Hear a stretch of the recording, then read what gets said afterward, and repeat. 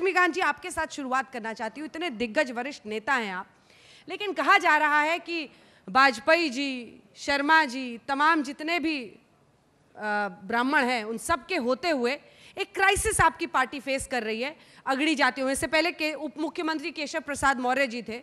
उन्होंने कहा, सौ में से साठ फ़ीसदी हमारा है, चालीस में बंटवारा है, और उस बंटवारे में भी हमारा है। तो अगड़ी जातियों को आपने अपनी साठ फ़ीसदी में समझ लिया कि वो हमारी जेब में है। लेकिन क्या उनकी नाराज़गी और जाति का ये ज़बरदस्त असर इस चुनाव में आपको सामना करना पड़ सकता है? वो पूछ रहे हैं कि क्या किया हमारे लिए? हम लाए सत्ता में। निश्चित तौर पर भारतीय जनता पार्टी के सामने कोई राजनीतिक क्राइसिस जाति के नाम पर नहीं है। भारतीय जनता पार्टी ने जब से आदरणीय नरेंद्र मोदी जी देश के प्रधानमंत्री बने हैं और उत्तर प्रदेश में मुख्यमंत्री योगी आदित्यनाथ जी बने हैं सारे विकास के काम को जाति, धर्म, पंथ और क्षेत्र से ऊपर उठकर सबके लिए किया है। इसलिए ऐसा कोई प्रश्न जनता में नहीं है कि भारतीय जनता पार्टी ने हमारे लिए क्या किया और विशेष तौर पर अगड़ी जातियों में। भारतीय जनता पार्टी ने सबके लिए काम किया है। कोई बिरादरी या कोई जनता का व्यक्ति ये नहीं कह सकता। और हमारा तो नारा है, सबका साथ, सबका विकास और सबका विश्वास। अगर हम किसी के लिए कुछ करेंगे नहीं तो उसका विश्वास कैसे अर्जित करेंगे? और जनता का विश्वास अर्जित नहीं करेंगे तो चुनाव कैसे जीतेंगे? हमारा अंतिम परिणाम है चुनाव का जीतना और उसमें भारतीय जनता पार्टी सफलता हासिल करेगी। जाति का कितना असर प्रमोद जी? आप इतने दिग्गज और पुराने नेता हैं और आपके पास जो जितिन प्रसाद जी थे ब्राह्मण सम्मेलन करते थे वो भी ले गए वो? देखिए मैं बहुत स्पष्ट कर दूँ इससे इनकार नहीं किया जा सकता।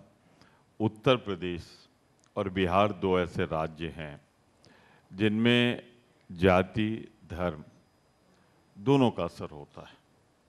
जातीय राजनीति के शिकार रहे और इसीलिए आज जब कुपोषण का इंडेक्स आप देखती हैं तो फिर बिहार और उत्तर प्रदेश सबसे नीचे नज़र आते हैं। कारण ये है कि जाति और धर्म के आधार पर जब कोई पार्टी ये समझ लेती है कि मैं चाहे सौ, एक सौ चार रुपये पेट्रोल हो जाए, पर महँगाई नज़र नहीं आएगी। कहेंगे महँगाई नहीं है। तो फिर सहारा क्या है? जाति और धर्म।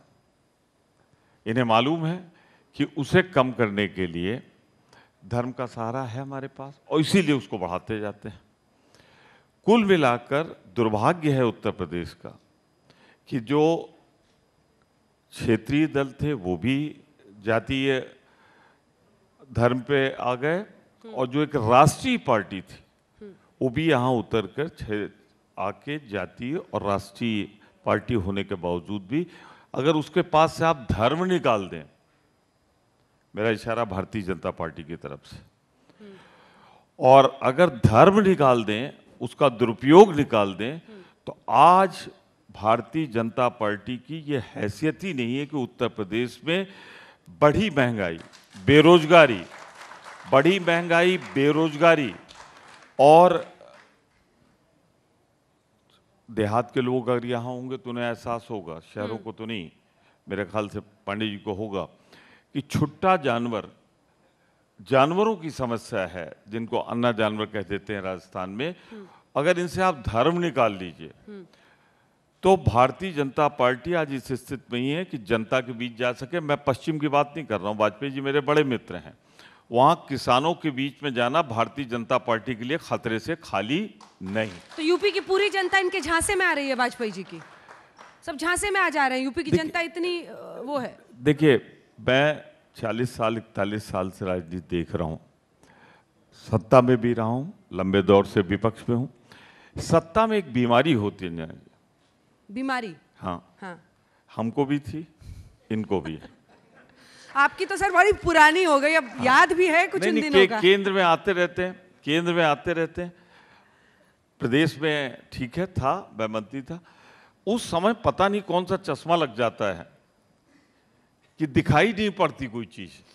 अब अभी मैं छत की तरफ़ देख रहा था ताज के हाँ। कि मज़बूत बनी कि नहीं बनी। जब एक सवाल आया और एक जवाब आया कि महँगाई नहीं है। तो मुझे लगा कहीं ऐसा ना हो छत गिर जाएगी